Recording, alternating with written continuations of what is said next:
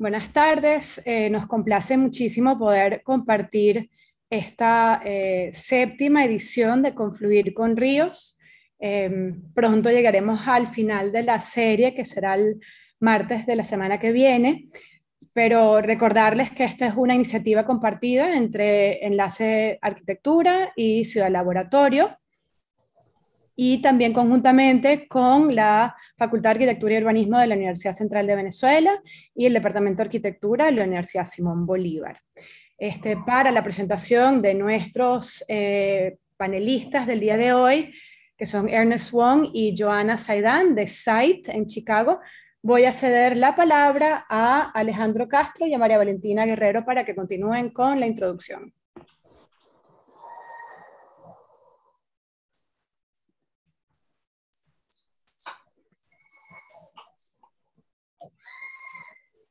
Hola, tenemos el gusto de invitarlos a la séptima charla del ciclo Conflicto con Ríos, presentada por Ernest Wong y Jonas Aiden de Site, titulada Reframing the Chicago River, sobre el río Chicago en Chicago, Estados Unidos. Eh, nuestros ponentes son Ernesto Wong, fundador y director de Site, quien ha sido fundamental en la evolución vanguardista y multicultural de esta firma de arquitectura del paisaje en Chicago. Estando al frente de la gerencia de la empresa durante más de 31 años, Site ha ganado una reputación por sus diseños creativos y el desarrollo de espacios urbanos orientados hacia la comunidad. Un firme defensor del compromiso cívico y comunitario, el señor Wong forma parte de la Junta de numerosas organizaciones de servicios y jurados profesionales, incluido el premio House a la excelencia arquitectónica del diseño comunitario, la Liga de Servicios Chinoamericana, la Junta de Planificación del Near South y como presidente de la Comisión de Monumentos Históricos de Chicago. Además, el señor Wong es un frecuente ponente en universidades, así como en conferencias de diseño y diversidad. Joana Saidan es gerente de proyectos en SITE y forma parte del programa de diseño sustentable y paisaje urbano del Departamento de Transporte de Chicago. Nacida y criada en Sao Paulo, Brasil, estudió el pregrado en arquitectura y urbanismo en la Universidad Mackenzie en Sao Paulo y se mudó a Chicago en 2014 para realizar una maestría en desarrollo urbano sostenible en la Universidad de Paul. Tiene un historial educativo y laboral multidisciplinario con experiencia diversa que incluye ser socio gerente de una firma boutique de diseño de paisajes en Sao Paulo y directora de zonificación y desarrollo urbano para un concejal de Chicago. Uh, with no further ado, uh, the screen is yours. Thank you.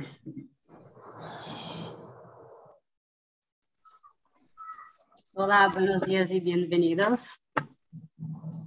Uh, ¿Puedo compartir mi pantalla? ¿Sí?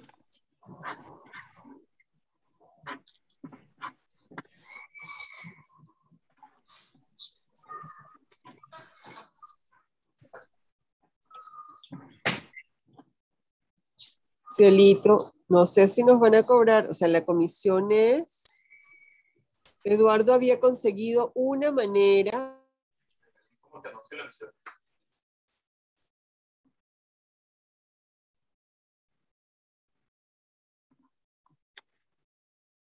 Bueno, um, yo me llamo Joana y voy a presentar la introducción de esta charla sobre el Chicago. Pero a partir de ahora, perdóname que voy a continuar en inglés. Uh, first, I want to introduce you uh, again. Alejandro already started it, but I want to introduce you uh, formally to Ernie, um, uh, who will deliver the main part of the lecture today. Ernie is a founder and principal of SITE, and of course played an essential role in converting the forum into, into um, multicultural cutting edge design entity and fostering the landscape architecture profession in Chicago.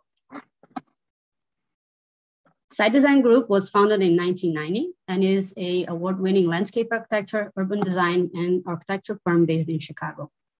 Site has established a reputation of creating creative design and developing thoughtful, community-oriented urban spaces and improving the quality of life in urban neighborhoods.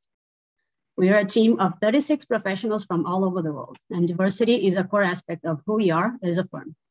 Not only SITE was founded by children of immigrants, we believe diversity is an asset and that good ideas come from different places. We provide design services to architects, engineers, municipalities, corporations, and institutions throughout Chicago, the United States, and Asia. Each project is designed with social responsibility, sustainable accountability, and land stewardship in mind.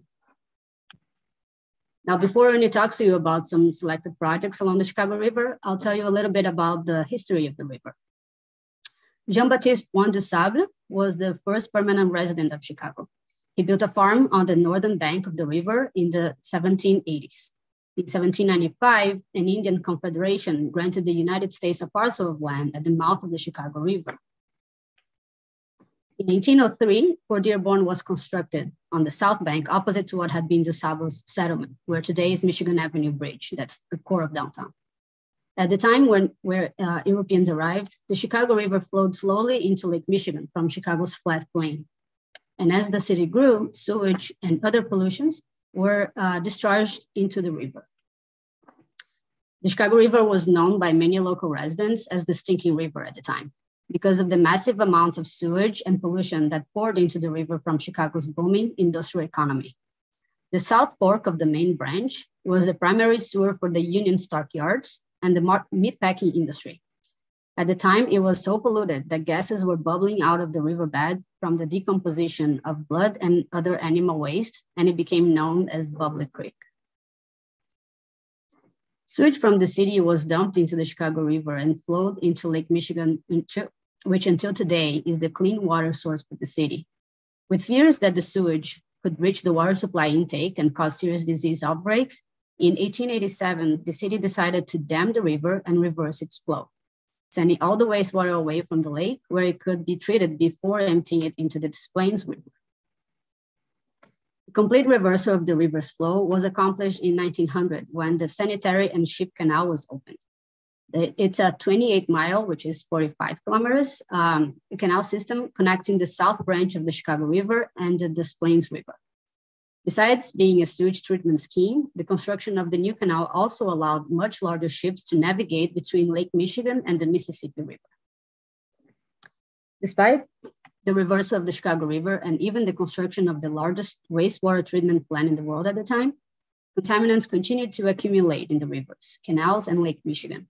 The continuing problem was due mainly to the fact that Chicago and many of the older suburbs were served by combined sewers, where both sanitary and rainstorm water flow through the same pipes. As the area developed and more land was paved, the amount of rainwater entering the sewer system instead of draining into the soil dramatically increased.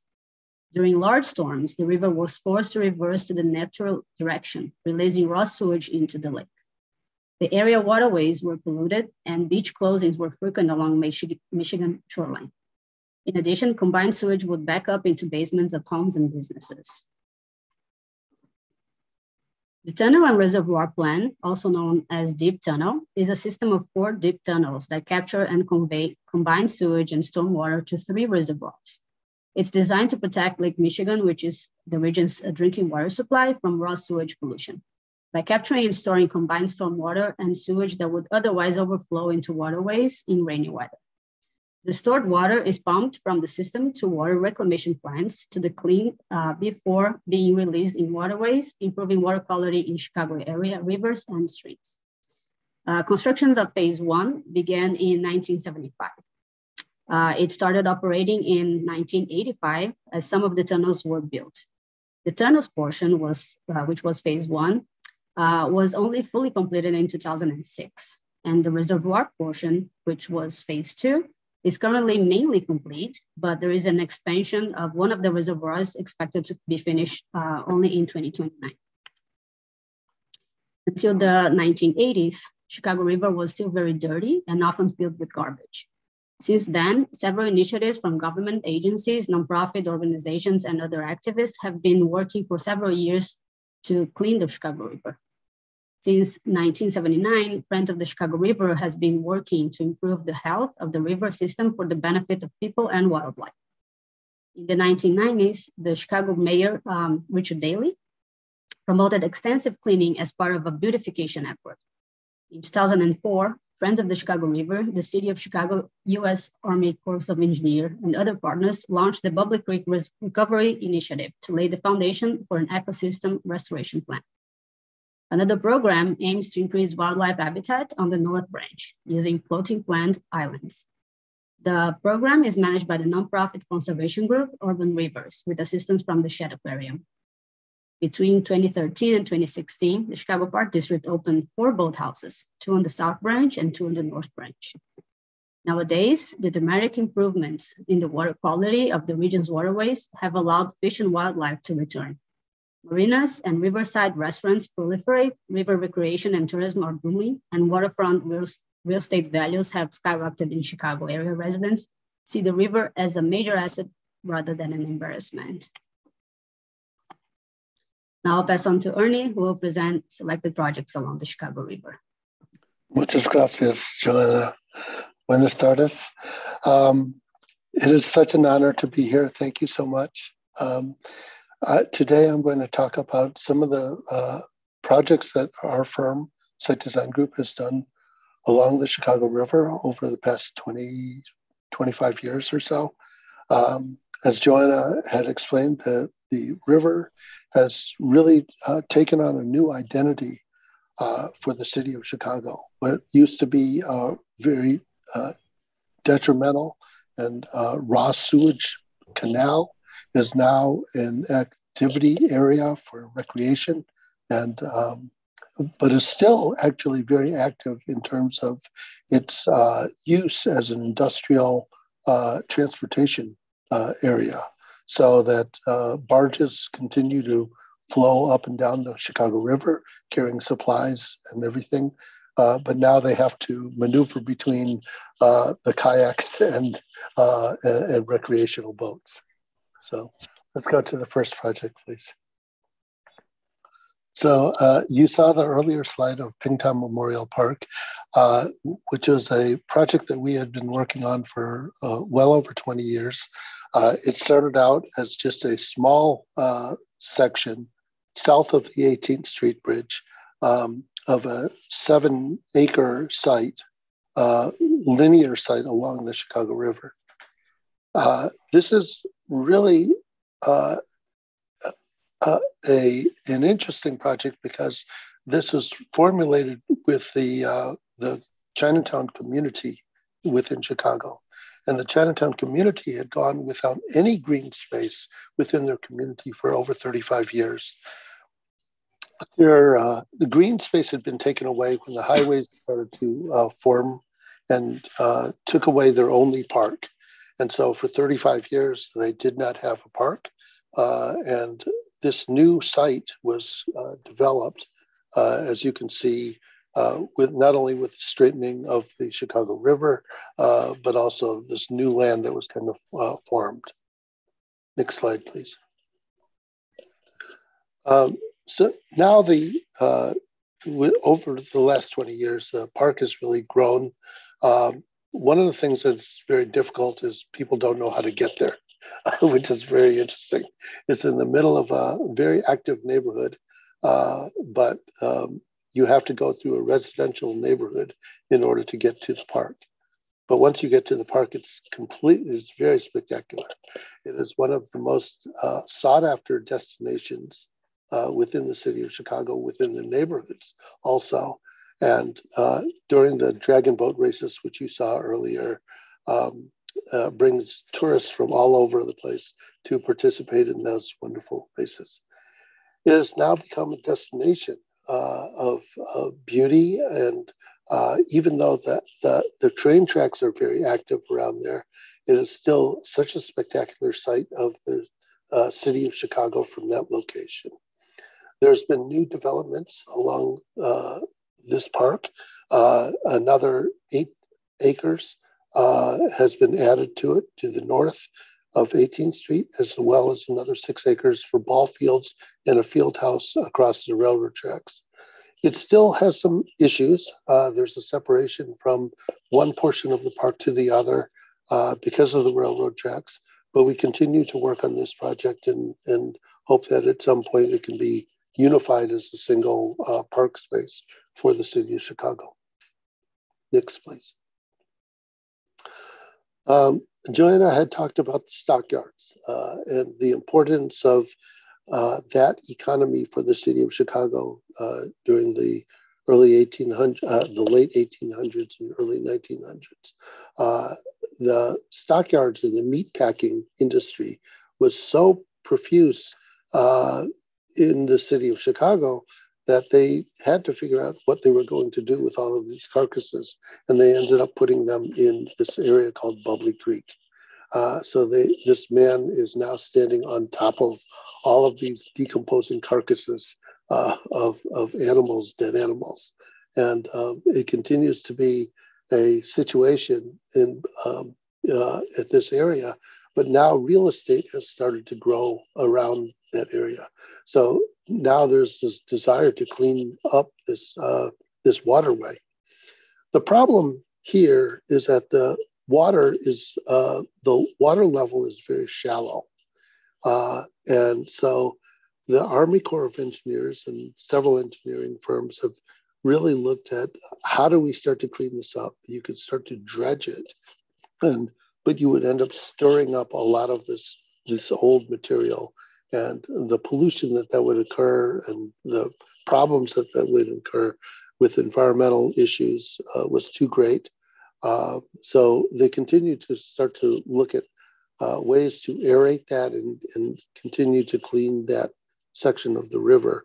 These are now uh, starting to become uh, million dollar homes along that area.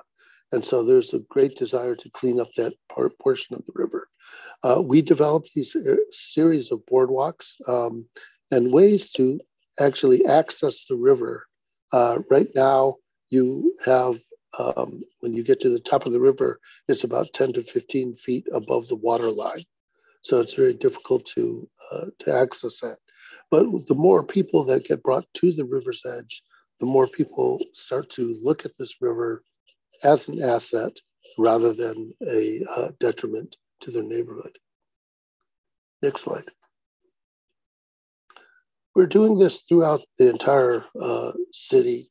Um, this is uh, uh, the start of a new development of an industrial area uh, north of the north branch of the city. Um, and uh, so this was the start, the first building that was done alongside of the river. And it started to look at how do we start to treat that edge. You can see how how high the the land is above the water level. And so, you know, this is a difficult situation. We continue to see this, especially along the North Branch. And you'll see as we get further along some of the design guidelines that we've put in place now for this portion of the city uh, to try to get people further down to the river, to the water. So it's become an area that nobody knows how to get to the river. Nobody knows how, you know, what that looks like. So in this particular project, one of the things we tried to do was uh, to really uh, enhance the landscape so it's a much more beautiful landscape, uh, but also start to attract wildlife and other, uh, and bring it back to nature. Uh, this is a heavily industrial area that has been, uh, you know, utilized as a, as a dumping ground for so many years. And so this began the idea of creating these set of guidelines for the entire area in order to develop um, spots along the Chicago River on uh, both sides in order to start to uh, engage more and more people to the river. What this does is this starts to create a better uh, uh, environment for both wildlife as well as uh, birds and fish. Uh, one of the things that we tried to do here was to start to uh, look at the plant material and how we were going to start to utilize that in a way that starts to naturalize these edges a little bit more. So it does two things. One, one of them is that it, it brings people further down towards the river edge but it also gives us opportunity to have a much more uh, natural landscape along there while cleaning up the river at the same time. Uh, this has been, this was our initial rendering uh, for this area. They have started to develop this as uh, shown, and it is now called the Wild Mile, and it is now uh, nearly complete uh, this year. So we're very excited about that. this is another project uh, that we took on uh, for a private developer who had bought a building alongside the North Branch of the Chicago River. Uh, one of the things he wanted to do was to try to figure out how to uh, get a restaurant on a barge uh, and dock it onto the uh, edge of the river where his building was. And so we went ahead and we started to look at ways to do that and access down to the river again in a different, uh, more natural formation of stone and landscape. Um, this was never realized. It was very fictitious. He never got his permit to do this. Uh, but we looked at this as an opportunity for other ways to activate the river as well. This activation of the river, I think, is really important because it starts to uh, get people more and more uh, uh, acclimated to uh, the importance of this waterway. And uh, now they start to take more ownership and they start to continue to clean it. So one of the, the things that the city did, uh, uh, this is about four years ago, was they asked a number of very, very, uh, probably some of the top architecture and landscape architecture firms throughout the country to uh, do a competition to start to look at the Chicago River uh, in, in a way that is very visionary. So they had asked Skidmore, Owings and Merrill and uh, Perkins and Will and David Adjaye out of London and uh, SWA uh, Sasaki. Uh, and we were one of the only local landscape architects that had started to do this. So this actually is an idea of uh, really about the graphics. And as um, as we had figured out that all of these big firms were going to go and uh, do these photorealistic renderings of the site, we decided to take a much different approach um, of looking at this in a much more uh, almost animated uh, um, uh, approach. So that we started to look at this in a very uh, graphic, uh, much more graphic and entertaining uh, approach to looking at how we can start to engage with the river. So the part of this is the separation of uh, these trails of uh, along the river. Of one of them being, if you use it for speed to get from one destination point to another destination point, or whether you're using it for a very leisurely walk. We wanted to separate those two uh, ways of traveling along the river, but all along the way have different points of which people can start to engage with different activities. So this was our idea of it, and um, it was very different than any other submission uh, to this. And people were very uh, the, the words, you know, the things that people were saying about this were like, what were they thinking? This is really, this is pretty wild. But we were really happy that it really stood apart from a lot of the other uh, firms that had done their work. Um, and so we, we got really excited about it. And you'll see in a, a little bit of how this started to transform itself into uh, some reality. And so we're starting to get there, but uh, this was really kind of an idea of how do we graphically show this in a much more interesting way. So part of the exercise was to develop this so that it was, you know, now in architecture and landscape architecture, we're getting to the point where animation is really a part of our work now, right? And so we started to look at how, how do we start to do that? This is the mayor of Chicago looking through these eyeglasses onto uh, the app on the phone uh, and seeing how this is going to transform itself. And we'll show you that, that video.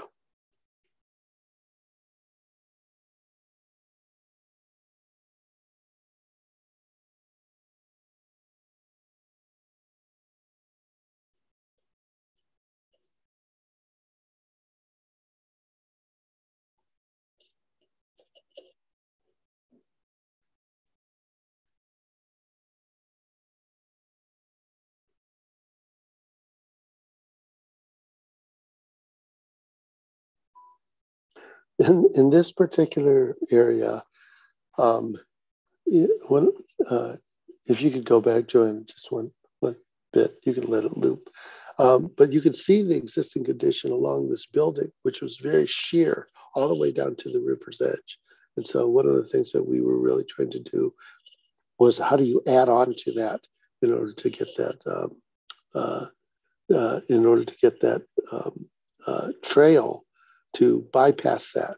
Uh, so these are they can get very expensive.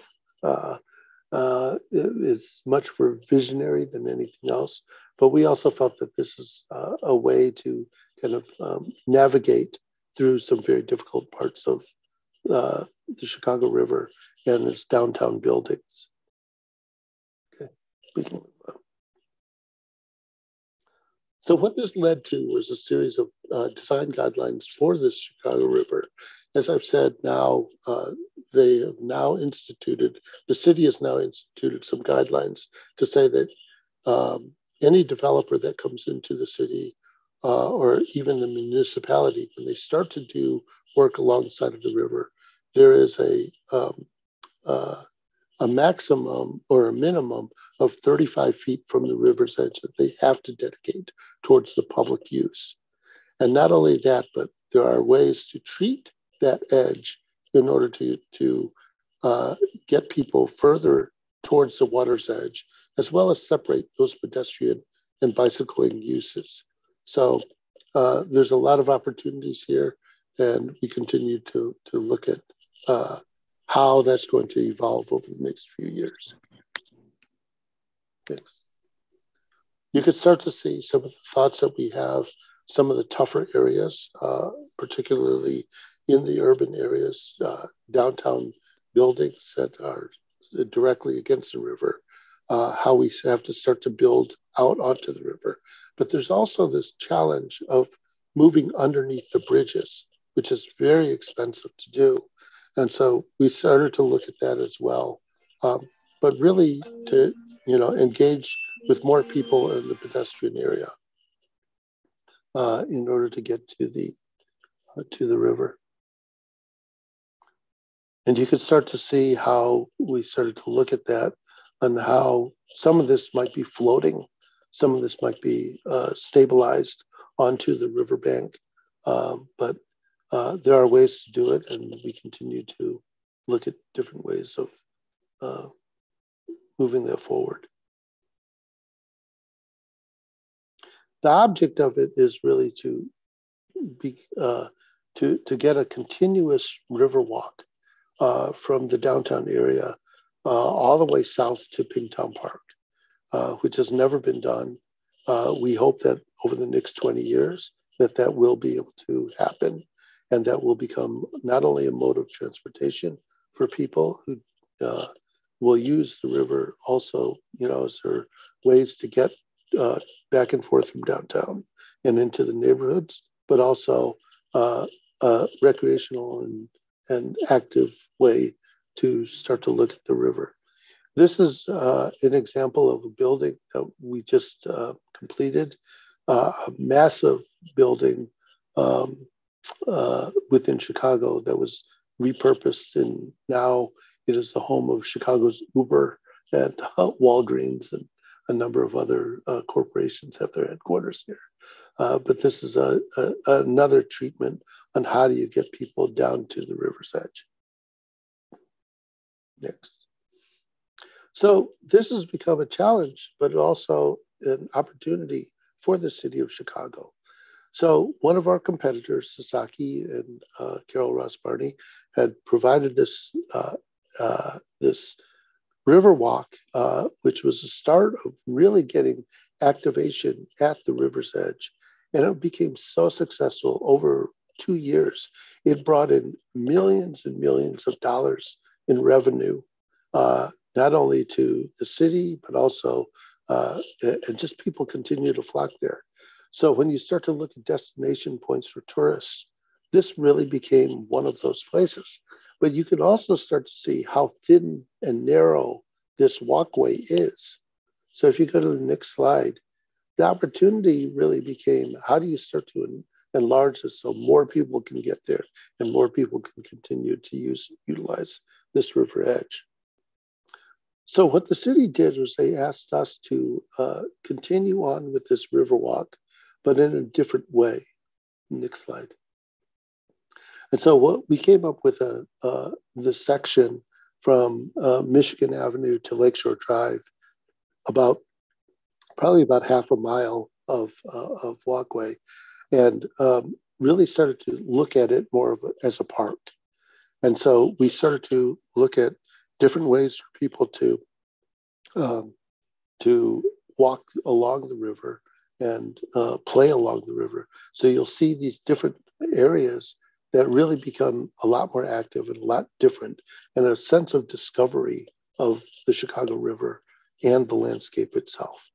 Different ways for people to sit and activate, uh, different ways for people to utilize this space and in all different methods. And so it this has really been a huge success for the city.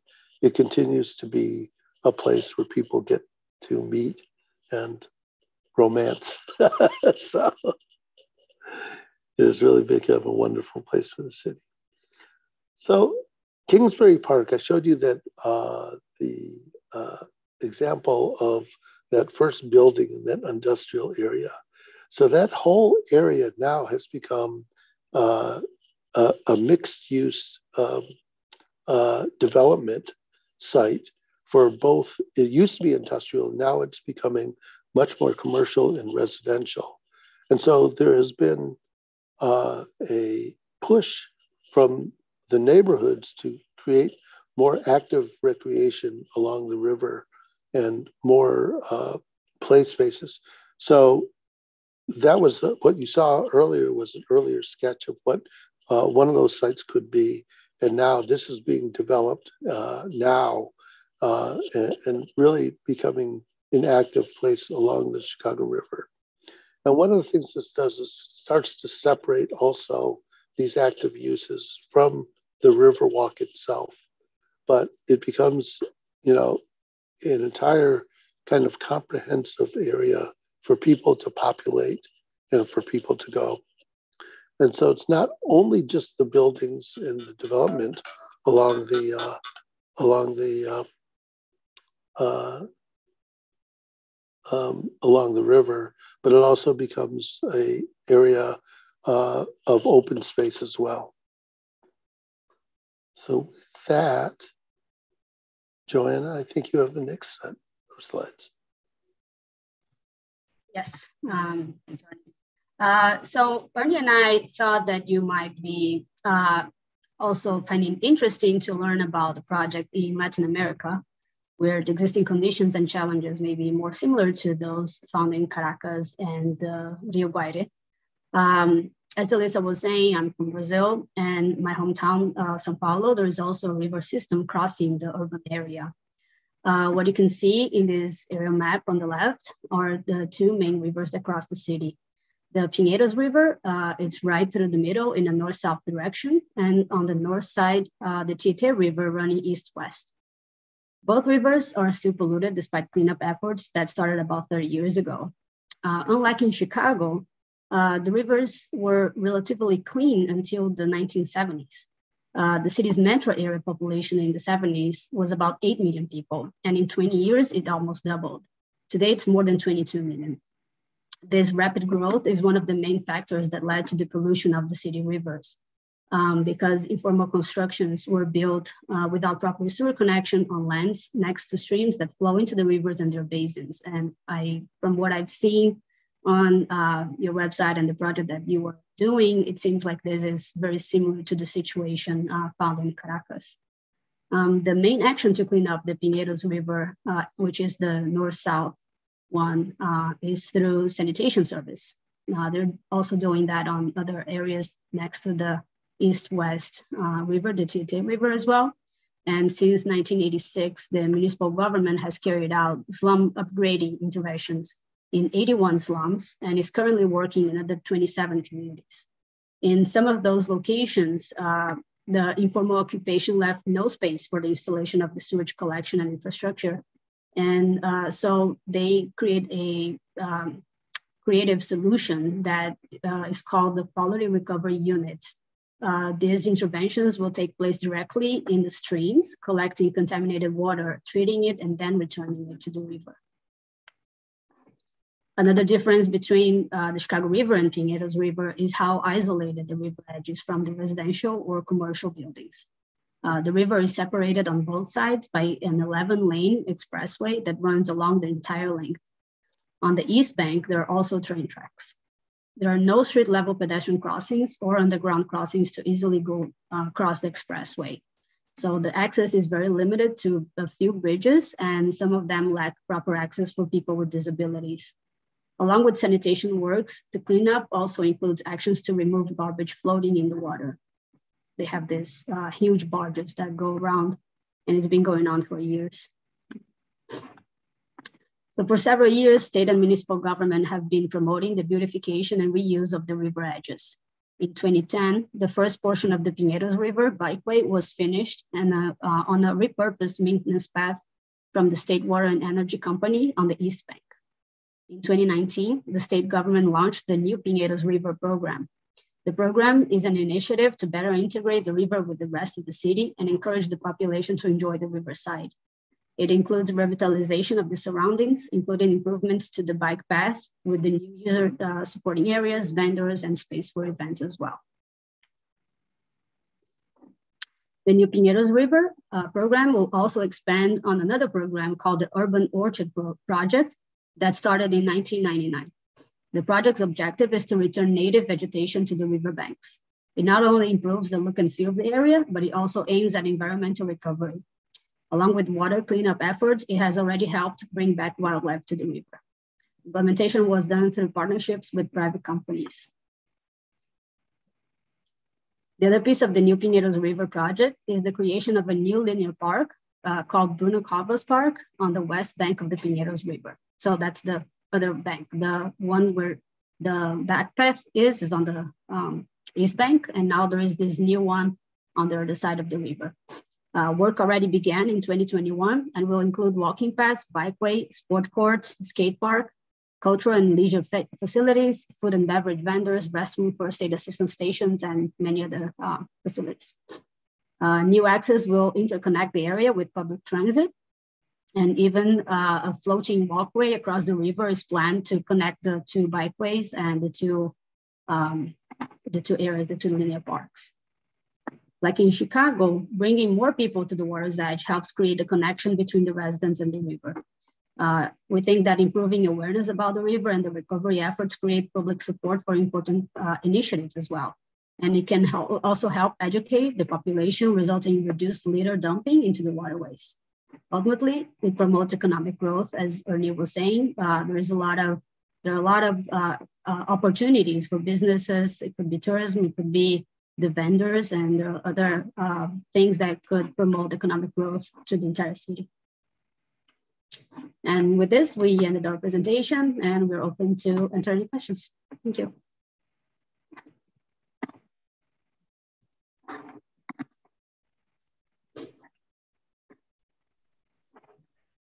Muchísimas gracias por esta charla tan interesante y tan inspiradora como estudiante motiva ver este tipo de proyectos donde el río es protagonista. Y bueno, ahorita queríamos invitar a todo el público a que realice sus preguntas por micrófono o también puede irlas escribiendo por el chat. Este, yo quisiera comenzar con la mía, este, preguntando qué aspectos de la ciudad han servido de inspiración para la creación de estas propuestas, tanto en el caso de Chicago como en el caso de Sao Paulo. Okay, thank you, Maria Valentina, for um, interjecting. She congratulates you both on such an inspiring approach um, to the practice, and then both the Chicago River and the Sao Paulo example. Uh, to learn from. And she has invited everybody to pose questions, but poses the very first one herself, which is uh, what aspects inherent to the city of Chicago, and we could extrapolate to Sao Paulo as well, have been the core that inspires the proposal. So, like aspects of the city itself that generate um, the proposal? Um, for the city of Chicago, the the uh, inspiration or the impetus for for doing this actually uh, came from uh, the leadership. You know, the the mayor uh, actually was was the one who saw this as an opportunity. We have 17 miles of lakefront, which people populate all the time, but it is that is the prime uh, real estate. And so, in a lot of ways, that separates a lot of the neighborhoods from being able to get to the lakefront. So, the river really became another opportunity uh, for uh, communities to engage with the water system, which uh, could be beautiful if you cleaned up. So, that was, uh, I think, the, the uh, impetus for, for getting that done. Ok, um, sí, que lo que eh, señala es que este proyecto nace del liderazgo de la alcaldía, que lo vio como una oportunidad. Nos recuerda que son 17 millas, que más, más o menos son 25 kilómetros de frente que tiene la ciudad sobre el río, y que en realidad ah, habían separado urbanizaciones o vecindades. Entonces, eh, rápidamente se entendió que el río era una oportunidad para acercar y para cohesionar mejor la ciudad, pero como una eh, frente al sistema del agua.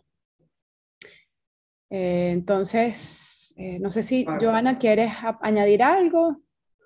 Uh, well, I was not involved in the project in São Paulo. I just wanted to bring that as an example. For you with the Latin American, but uh, what I did research, and I mean, it's it is a familiar project to me because you know I grew up over there, uh, and I saw it becoming a reality. Uh, I think that the main difference between um, here in in Chicago and what happened in São Paulo is, um, I think that the, the river was not polluted that long ago. So there are people who are still living like you know my grandparents generation they used to swim and they there were um, sports competition in the river uh, not very long ago you know maybe 15 50 years ago or so. So i think that that memory is still fresh in people's mind. So there was both a situation where the government uh, you know the city's leadership and mayors and, and the state government as well uh, played an important role launching all those uh, initiatives, but there was also um, popular pressure to, to get it done and conservation groups, uh, grassroots groups uh, putting some pressure to clean up the river. And once it started, you know, getting clean, that was, as I said, over 30 years ago, with the improvements, it's not even close for us to be kayaking in the river, but um, I think that you can start promoting some other uses on the banks. It's not directly in the water, but it's close by. And I think that one thing leads to the next. And that's uh, the, the new initiative that come back uh, with improving the quality of the space next to the river and bringing more and more people too. Okay. En este, Joana señala que en el caso de Sao Paulo ella los comparte el proyecto, aunque no ha estado directamente involucrada en ella, pero que aunque sí hay eh, una presión que viene desde el gobierno, ella señala que la presión importante ha venido del sector privado, de la sociedad civil y de activistas ambientales eh, demandando la recuperación. Ya van 30 años. Ella dice, no se puede todavía uno zumbar al río en kayak, pero que otros usos menos, eh, vamos a decir, menos peligrosos en ese sentido, sí se pueden ir contemplando y poco a poco acercar a las personas e incrementar la demanda por su saneamiento, vamos a decir, total. Eh, podemos entonces quizás avanzar con algunas otras preguntas. Eh, yo quería hacer una pregunta este, sobre los actores involucrados en estos proyectos, porque obviamente está su rol como diseñadores, y, pero ¿de dónde nace la iniciativa en términos de, es siempre un agente privado el que dice, bueno, tengo esta parcela, vamos a desarrollar este frente del río, o hay una iniciativa pública eh, que articule todas estas iniciativas, también en la parte de mantenimiento del espacio y de, y de la ejecución. ¿Es siempre pública o es privado? ¿Hay una combinación? Me gustaría saber. ¿Y de qué manera la comunidad participa? Okay, so uh, Alejandro's question has to do with the actors involved uh, at writ large uh, and how the first initial stages are. We're, we're very keen on the initial stages, as you can tell, because that's where we hope to be in, in our own process. And so, granted, uh, you mentioned Ernie how important the the mayor's role in in in getting the project going, but like how were the in each segments how were they defined and how and kind of funded also in terms of uh, getting the project started? Was it public private or combinations? Not just the funds but the actors involved. And um, he's also asking about the maintenance afterwards. How's the maintenance um, managed in terms of you know who who is responsible but also the funding i suppose and then final part of the question, so it's like many parts, is how to encourage and engage the, the participation of communities. Thank you. That, that actually is a very, very good question. Um, uh, one of the things I, I would say, it's not only, you can't only do it with a single party. And I mentioned it was the, the impetus of the mayor to, to initiate this. But there were also grassroots uh, uh, activities. Um, Joana had mentioned the Friends of the Chicago River, which mm-hmm. is an uh, advocacy group at the ground level that had always been talking about, oh, we need to clean the river, we need to clean the river. But, 1979, I think she mentioned. Yeah, 1979, exactly. And so one of when when you have this top and bottom, uh, and you start to continuously talk about it, you start to engage more and more people into this. But there are a lot of communities adjacent to the river that were really affected by this and this saw this opportunity. Um, so the funding, the initial funding really came from kind of federal money. Uh, you know, the United States now has this infrastructure bill that is passing. So that always, that kind of filters down to the states and then to the cities. So in order to get a lot of this uh, money, you know, you have to put in the grant, uh, you have to propose it and, and apply for the grants. And that's how they, they ended up getting this, this initial money. Um, and so, you know, the small successes, I told you that, for instance, Ping Tom Park was a 20 year project, 20, 25 year project. And we did it a piece at a time. And so what, you know, once you saw the success, they said, this is amazing. And what can this do to this community? We need to continue to expand that. And that's how that, that evolved. The maintenance is uh, it, by a variety of different people. Uh, but a lot of times the Friends of the Chicago River is really the watchdog in making sure that that does happen. Okay, no, fantastic.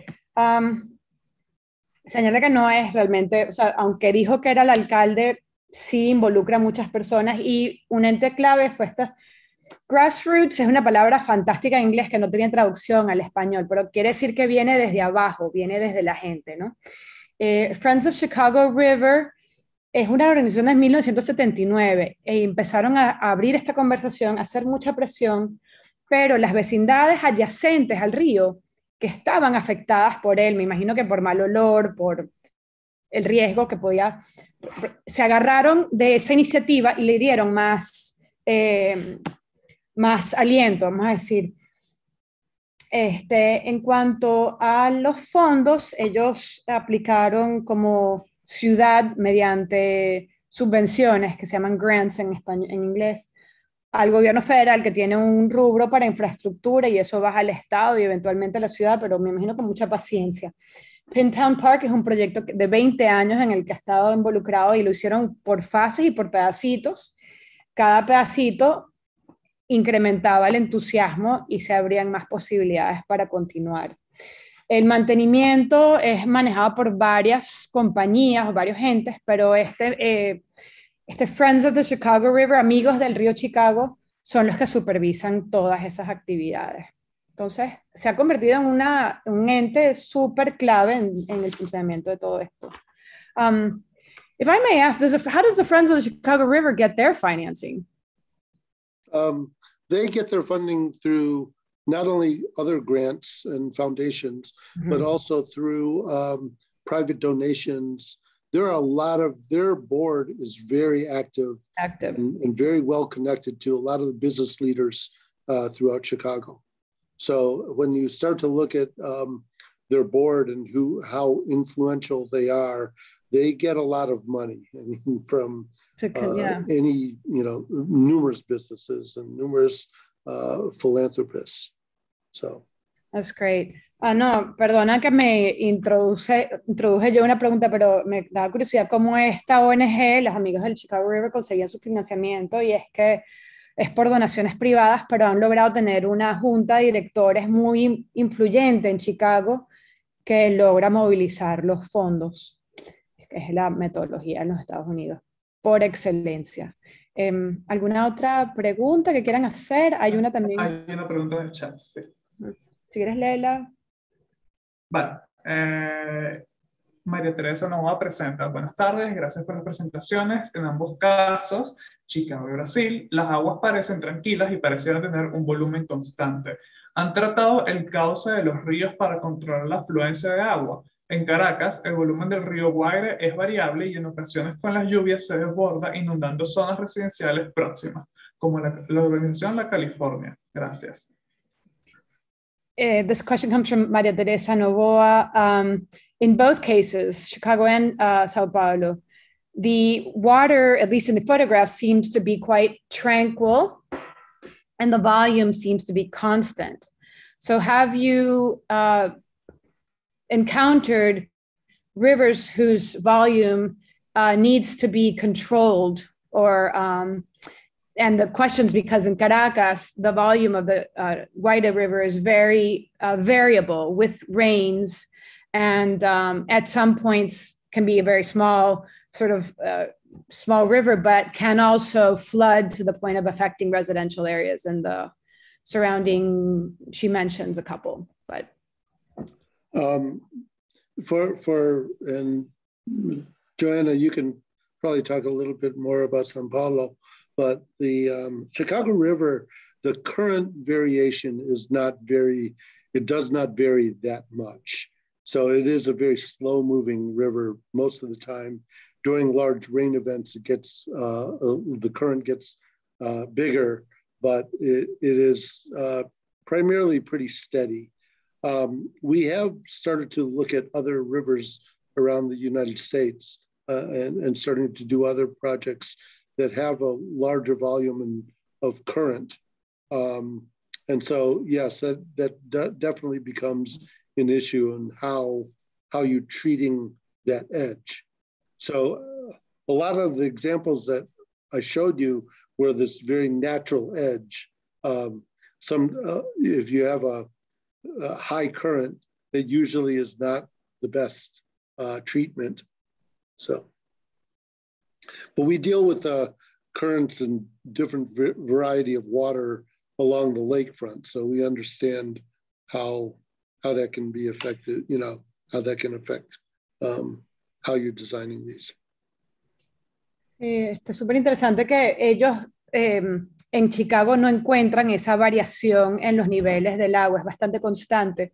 Eh, están empezando a tener proyectos en otros ríos donde sí ven eh, cambios y lo evidente es que cómo se trata el borde es más complejo, o sea, ese borde natural eh, verde que nos mostraron en muchos casos con el río Chicago ya no es posible, no, se tiene que contemplar algo más variable, pero em, señala que el lago de Chicago sí tiene esas fluctuaciones de nivel Em, entonces es una, el, borde del río Chicago es o bien em, concreto o, playa. Interesante la, comparación. Em, no sé si, Joana, ¿quieres comentar algo más? Uh, yes, I, the other thing that I was going to add is that both Chicago and also the Pinheiros River, they were um, changed by man, right? Uh, the course uh, of the, the, Chicago River changed. And in the Pinheiros River, they did that as well. They reversed the course uh, to uh, pump water into the reservoir that is, you know, the, it's upstream. And uh, so that is another way that they are able to control the level of the water as well. And I think that in Chicago, they can do that as well. The river um, is in a different level. Uh, the, the water level on the river is different than the water level on the lake you know, in Chicago. And you know, uh, you probably know what the, the eclusa are. You know, when, when you want to navigate, you need to, you have the the two barriers and you change the water level. So I think that that is another way that they control the level when there are heavy rains. And uh, in Sao Paulo, that happens as well. Uh, the natural course of the river was to flow towards the towards north, the Tietê River uh, that, that, I showed on the map. And uh, about, I can remember, I think it was like on the 1950s or so, they dammed and they reversed the river um, so now they, they also control that level, but um, flood is uh, pretty much a big issue in Sao Paulo as well. The, the summer rain, the torrential rain that we get over there, there are several times of the year when the, uh, the, the adjacent uh, roads will, will flood as well. Sí, que este, mm, ambos ríos han tenido unas intervenciones mediante esclusas que son parte del control del nivel del agua. Es decir, en el caso del río Chicago, el nivel del río y el nivel del lago donde ella eh, desemboca no son iguales. Y si hay que navegar de una a la otra, hay que hacer el paso eh, paulatino por, por esclusas para atravesarlo. En Sao Paulo, súper interesante, la dirección del río cambió en el 1900, antes fluía hacia el norte y ahora es al revés como parte de esta estrategia de, de las esclusas que controlan los niveles y, a pesar de ello todavía tienen inundaciones en el caso de Sao Paulo, pero bien interesante esa parte, no creo que nunca se había contemplado para el río Guaire colocar esclusas que controlaran su flujo. Y este, hay otras preguntas. Ah, este, bueno, aquí Erika Martínez pregunta, What elements do you consider to be vital when designing public spaces?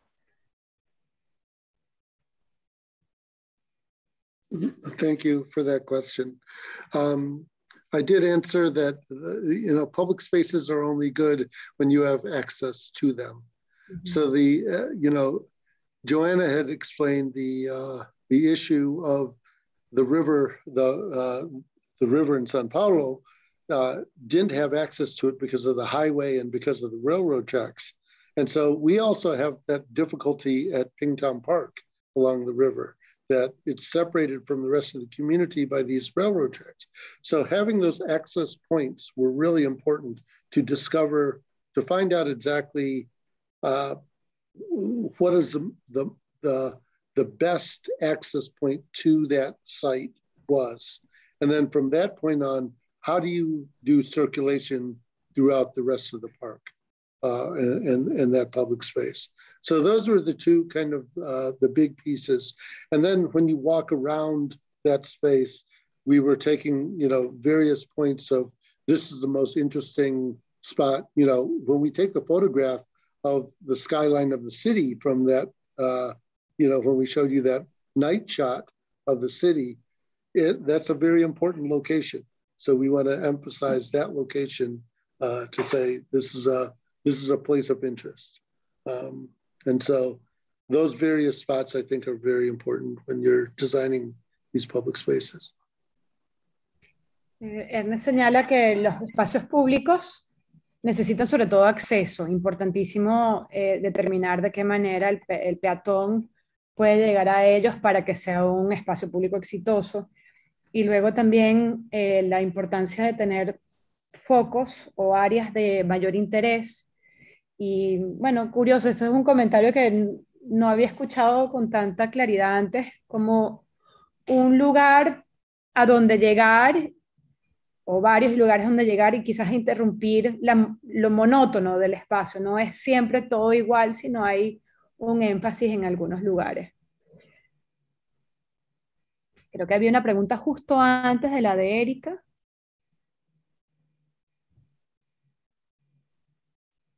Yeah, uh, but the question has already been answered on the chat. I don't know if we want to go over it.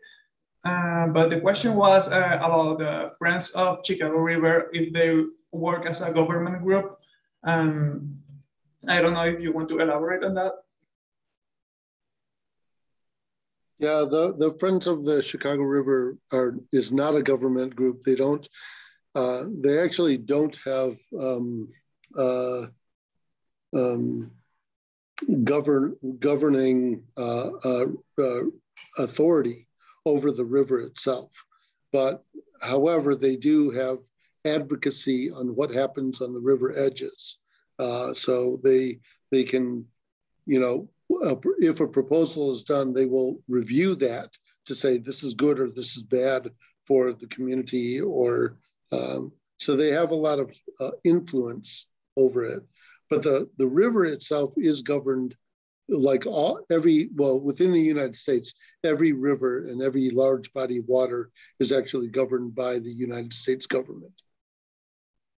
So they have control over everything, which is why if the government decided, if the United States government decided to uh, dam, you know, put a dam up in the Chicago River, they could do that, uh, and it would be difficult, but they could do that.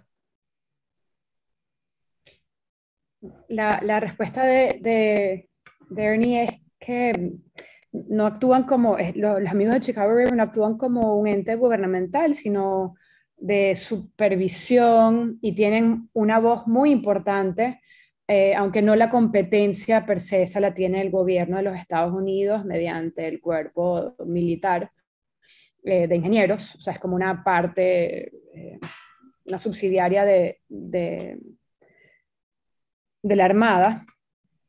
Y que, mm, este, sin embargo, ellos opinan sobre cómo eh, se gerencia, la propuesta de proyectos la, la, revisan, son eh, una voz sumamente con mucho peso, vamos a decir, ante cualquier eh, tema que tiene que ver con el río.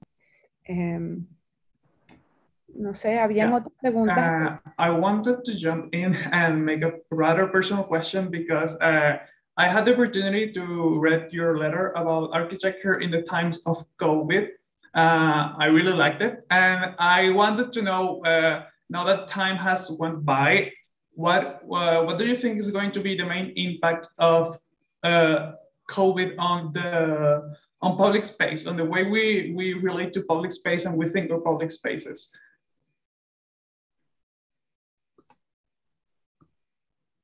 Oh, you're on uh, mute. Uh, I, you're on mute. Alejandro, that's a wonderful question, and and thank you for reading that. I'm I'm I'm humbled that that you read that. Um, COVID has changed the way we look at the world, um, and particularly in public spaces. We have realized that uh, the outdoors is so much more important to all of us now that we've been trapped inside of our homes, and so any opportunity now to be out, be able to uh, be outside, uh, and you know that is only uh, for a long time for the last two years now. That's been the only way that we could be social, right? And so now, um, you know, I think people have finally realized that these public spaces are are very very important. We have seen an increase in our business uh, just incredibly.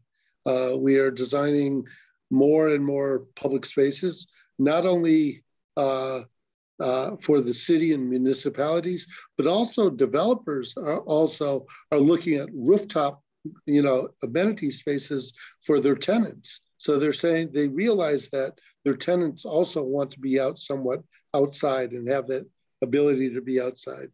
Uh, so it, I think that it's growing um, uh, you know, and we just have to be, you know, make sure that that we can do it successfully and with equity, quite frankly. Uh, there's a lot of, uh, that's one of the things that I struggle with is really making sure that people uh, of all backgrounds are able to access public space in a, in a meaningful way.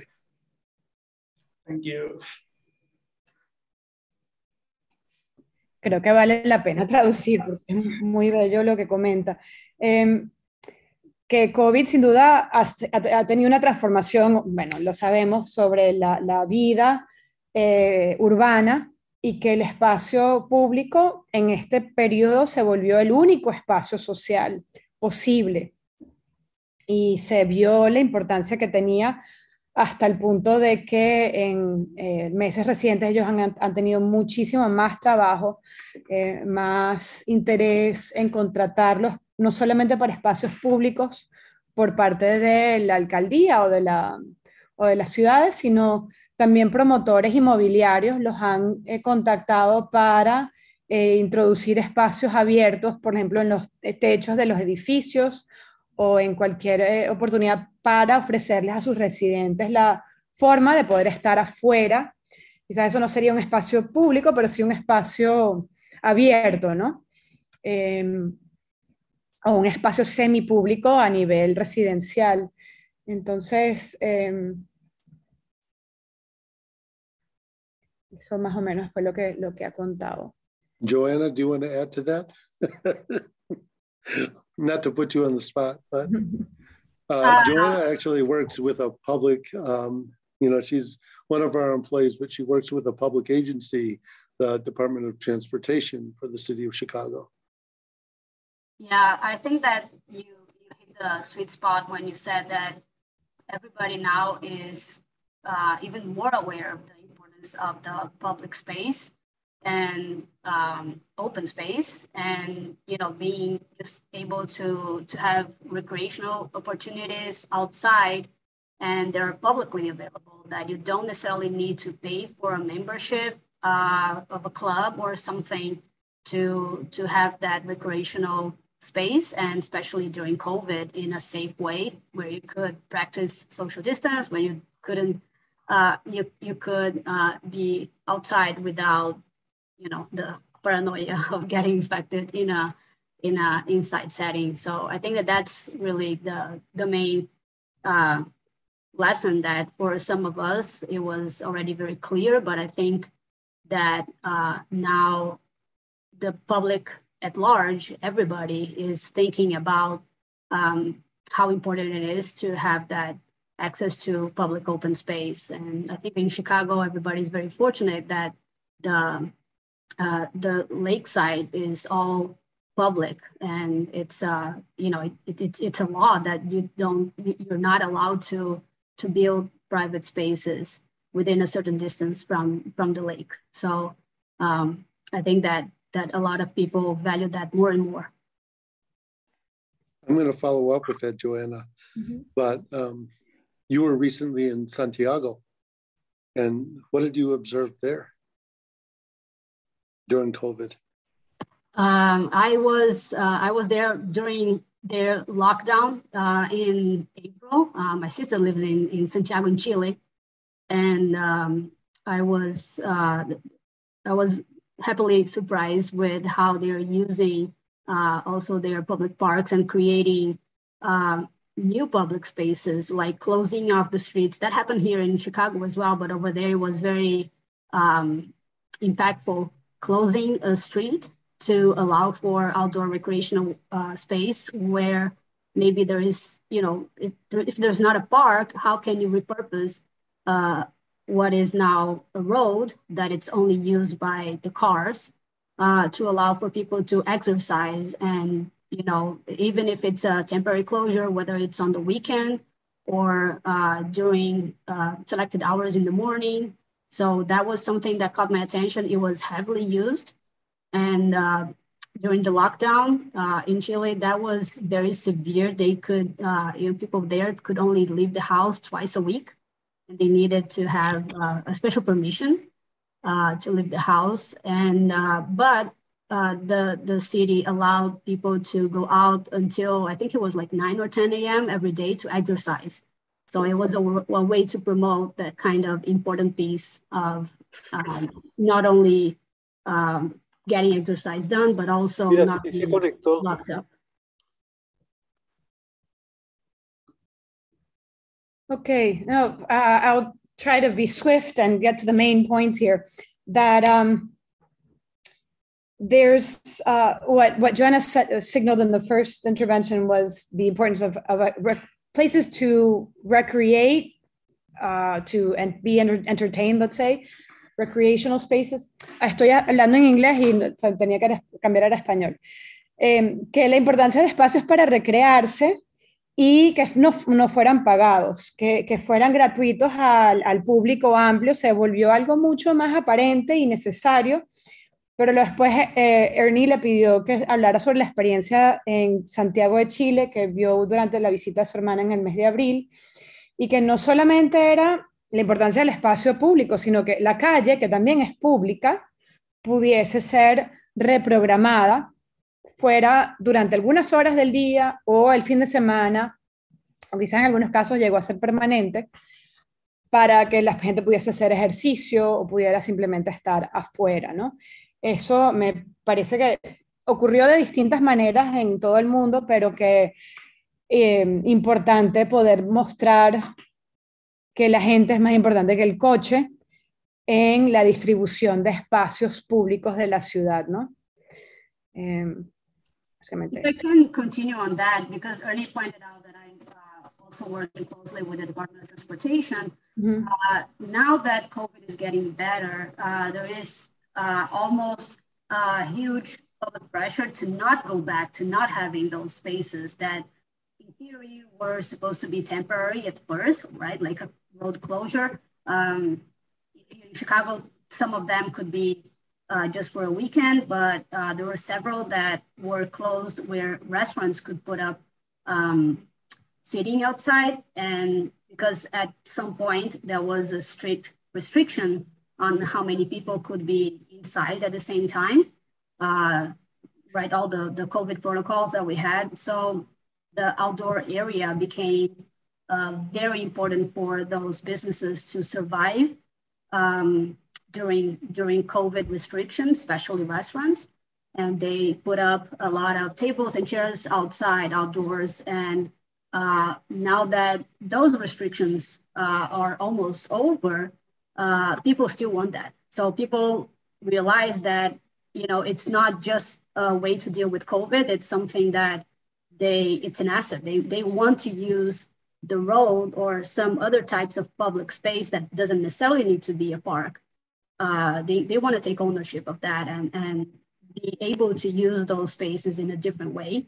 So the city uh, launched a different program that is not related to COVID that would um, kind of uh, help and incentivize community groups. That those are not private businesses anymore. So it's not like a restaurant putting up uh, tables outside.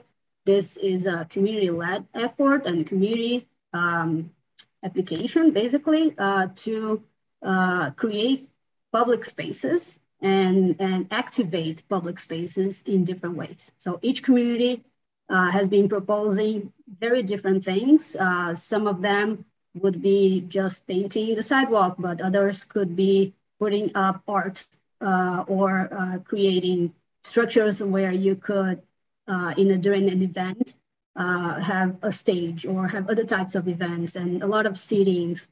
Um, and, and as I said, it will all be publicly available and maintained by the community. So I think it, that was another thing that came out of COVID is um, a little bit related to how I started saying, how do we use the public space that exists in a different way, uh, but also how it can be uh, used moving forward and how permanent could that be and not just a, a way to deal with COVID restrictions.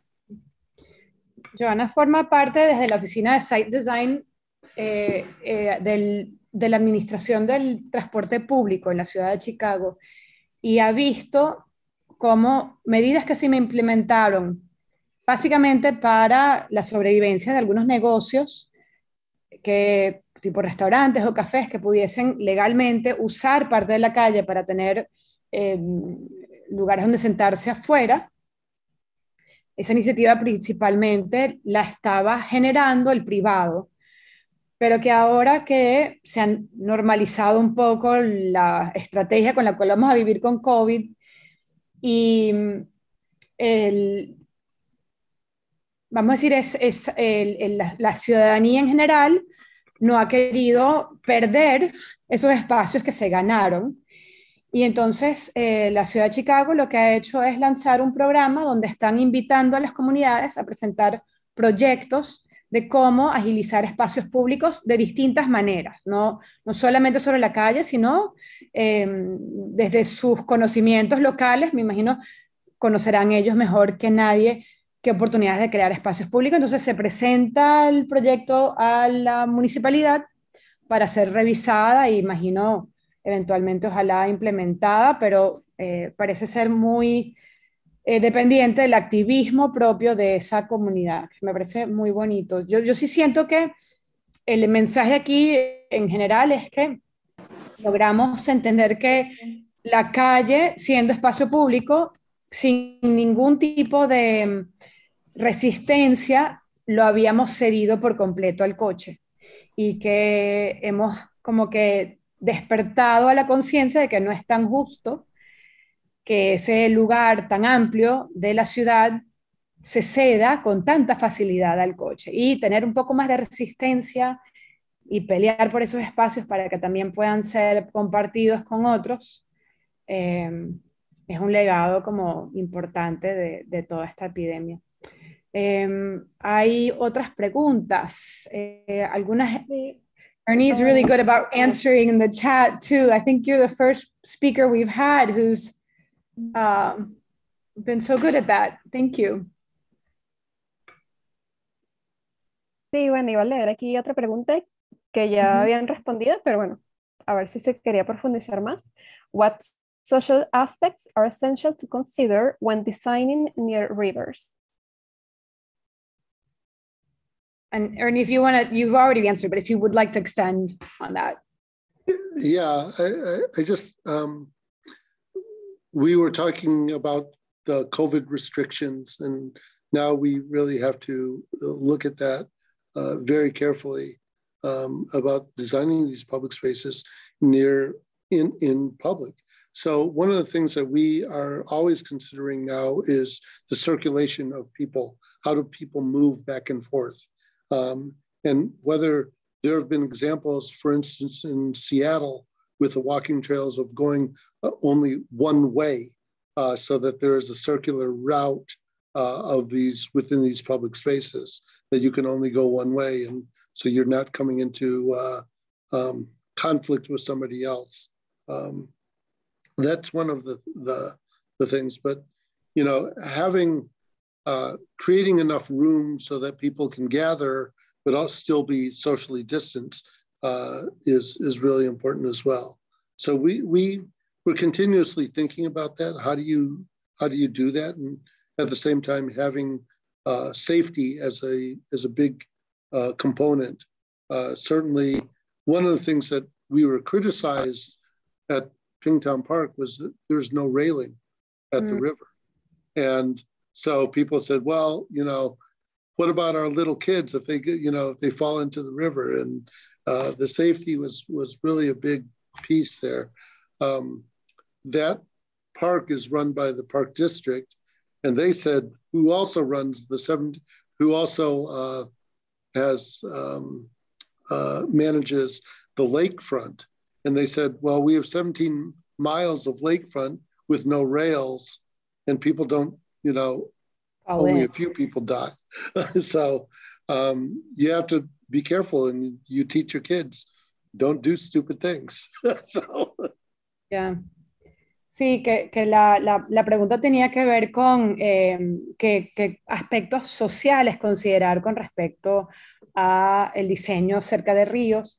Y bueno, una es la seguridad de, de las personas. Por ejemplo, una parte que no escribe en su respuesta es el diseño de eh, vías en un solo sentido, de manera que entonces la gente no se choque y siempre tratar de eh, proponer la posibilidad de mayor espacio para que pueda haber una distancia segura, no solamente desde el punto de vista, eh, eh, vamos a decir, de tránsito, sino también de salud pública, ¿no? Que el, ejemplo del Pinton Parque, que no tiene reja o baranda sobre el borde, muchos vecinos protestaron eso, pero como para seguridad de los niños, pero el intendente de la ciudad de Chicago les manifestó que, bueno, aquí el lago tiene 17 millas de frente a la ciudad y en, la playa, más sirve, en el frente al lago no hay, no hay baranda, ¿no? Que, que parte es un poco el juicio de los niños mismos.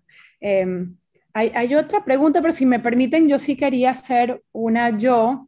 Um, I wanted to ask a question myself or just have you speak to this because I think it's it's it's a beautiful aspect of your practice is you have a way of uh, identifying uh, site design as a Chicago-based practice, and you guys are very committed to Chicago, um, which I find to be you know beautiful in the face of so many firms who you really flaunt their let's say global or international aspect. But just to be so uh, yeah committed to a city is uh, something I think worth worth talking about, and also this issue of time and the commitment to projects. For example, Ping Tom Park, which is a 20 year project, and and kind of the the participation of the architect in these sites as almost um, a constant friend, a longtime friend, right? Um, Chicago is home. Uh, my my parents were immigrants to Chicago from um, southern China. Um, my father actually had a had a, um, fellowship to come study with Frank Lloyd Wright in the 1940s, mm-hmm. and he couldn't get his visa out of China that year. And so, 1947, he got his visa and was on his way up to Taliesin in Wisconsin to study with Frank Lloyd Wright. But he stopped in Chicago and he ran into Ludwig Mies van der Rohe, and he never left. so, you know, th- these are the stories that um, I grew up with, and um, and so Chicago, you know, I I went away for probably about ten years and came back, um, and and really, I'm the only one of the four children who still live in Chicago, mm-hmm. but I do feel that it is my city and I feel very committed to this community and various commun- communities throughout Chicago. Um, uh, the commitment to particularly Chinatown has been very important to me. Um, and, and so it is not only the practice, the landscape architecture practice, but the leadership in uh, social services and in uh, the commerce of of that community. And the funny part is that I don't speak Chinese. I don't speak Spanish either, but I don't speak Chinese, which is really sad. But it, you know, it, it's very important to me to be um, uh, to have that commitment to a, a particular place, um, and I encourage that actually uh, all over the country. I've been lecturing all over the country. Is that no matter what you do, you have to give more of yourself to your own community.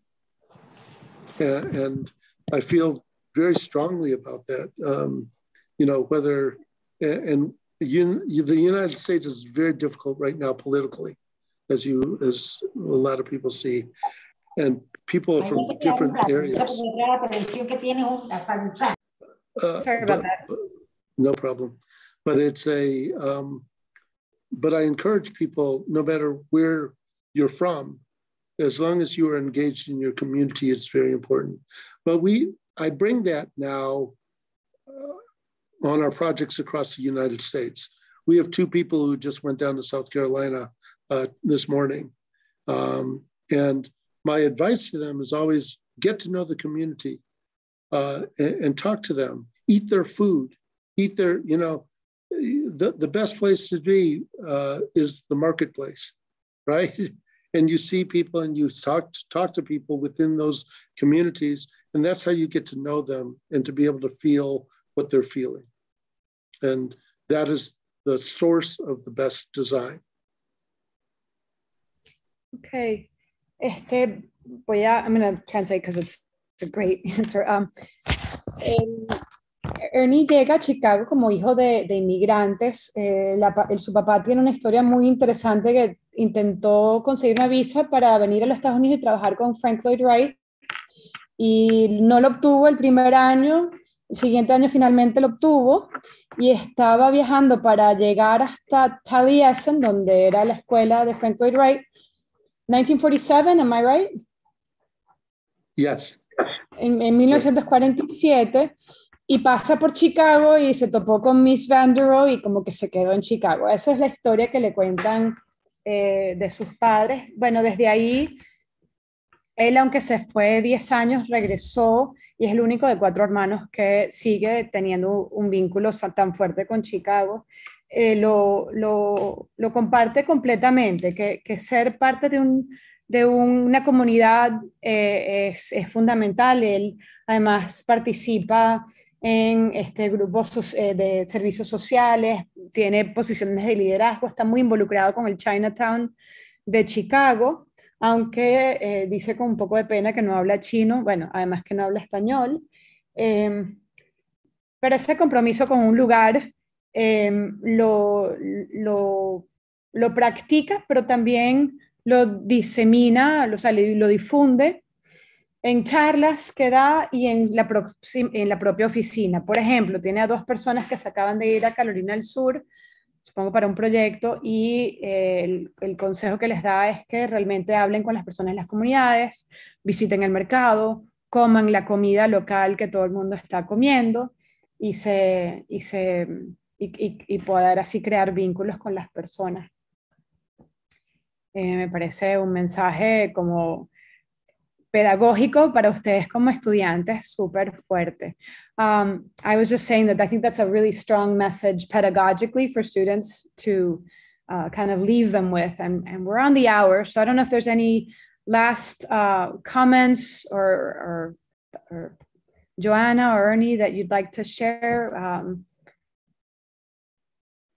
or Joana, I'll let you go that. first. I, I will. I will have uh, something after you go. Uh, no, you should do you. it in Spanish. I can, I can, okay. Eh, puedo decir muchas gracias por invitarnos a esta charla y uh, he podido um, mirar un poco de, del proyecto que están empezando con el río y creo que es una cosa súper importante.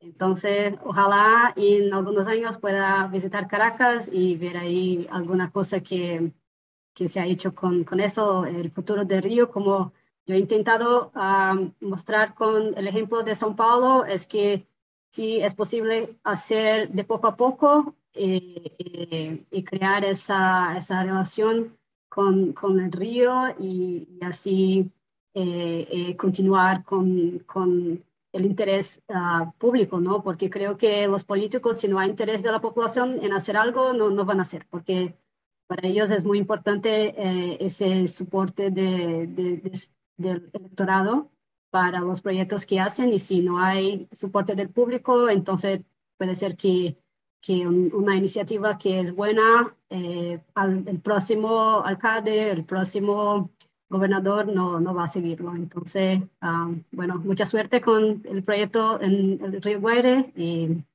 ojalá pueda visitar ahí un día.